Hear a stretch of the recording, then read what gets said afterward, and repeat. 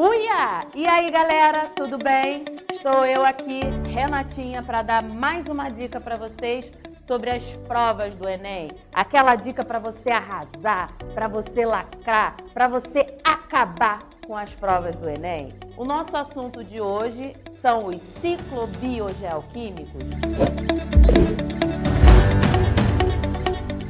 Quais são os ciclos mais cobrados, gente? Carbono, nitrogênio e oxigênio. O que, que você precisa saber dentro desses ciclos para você conseguir eliminar, acabar com essa questão? As questões do Enem sobre os ciclos, elas são questões de interpretação, onde você precisa ler o comando da questão e precisa, a partir daí, relacionar os ciclos. Quer mais dicas?